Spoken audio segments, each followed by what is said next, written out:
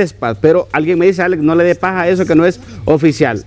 Para ver si es oficial o no, tengo precisamente a Osiris Payes, que es la asesora legal de CESPAD. Abogada, gracias por atendernos a través de esta vía de comunicación de Zoom. Eh, esta convocatoria que se ha visto eh, trascender en diferentes eh, grupos y redes sociales, en efecto, es acreditada a CESPAD. Buenas tardes. Buenas tardes a todos los presidentes.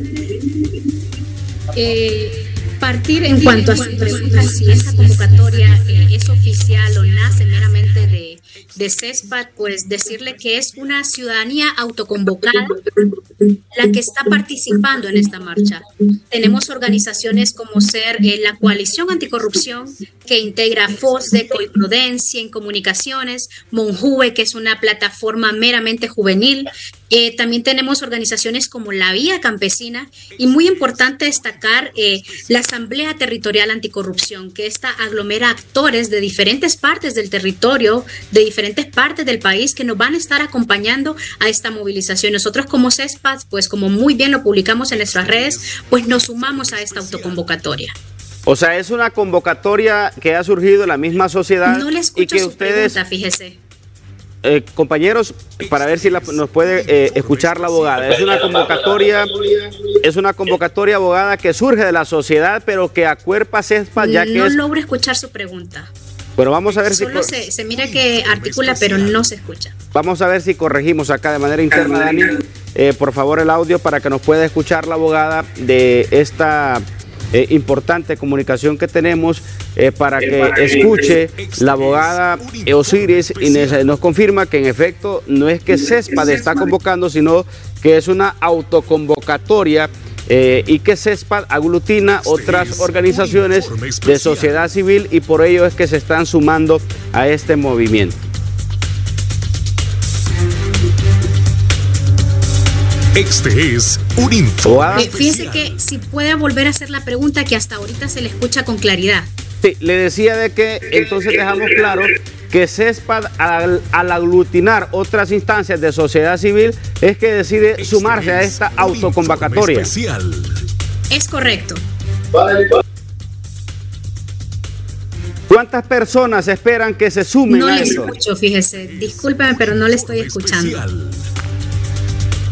Es, interesante saber, Merlin, cuántas eh, personas esperan que, sean convocadas, cuántas personas esperan que, lleguen por lo menos a este denominado movimiento de las antorchas. Pero al decir la abogada que hay varias eh, organizaciones, ¿verdad? Mencionó algunas como Vía Campesina, eh, CESPA, Articulación contra la Corrupción, o sea, no solo es el CESPA, sino varias organizaciones de sociedad civil varias organizaciones de sociedad civil.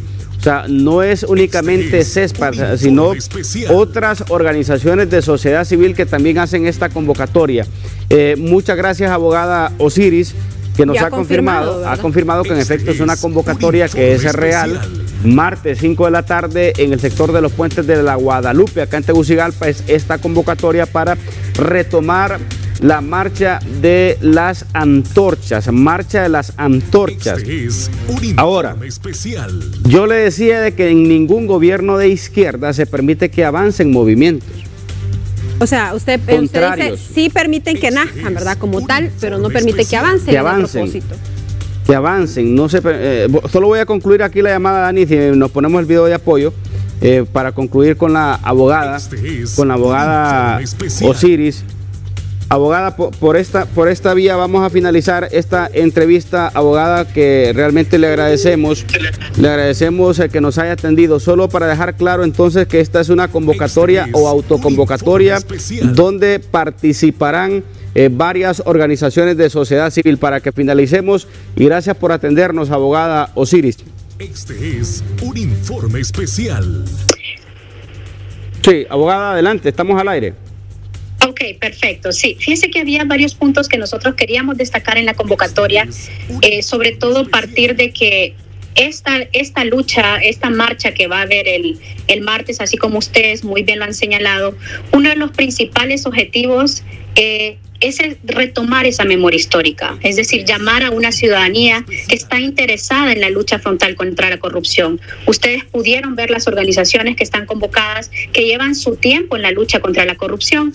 Y aquí estamos, no estamos señalando o no estamos haciendo mención a un gobierno en concreto. Estamos partiendo que la corrupción y la impunidad han creado un mecanismo que se ha afianzado en Honduras por más de 12 años. Y nosotros le estamos apostando como, como movilización a la derogación de esos decretos a la derogación de esos principales decretos que protegen a las y los corruptos, a los cuales nosotros les hemos llamado pactos de impunidad.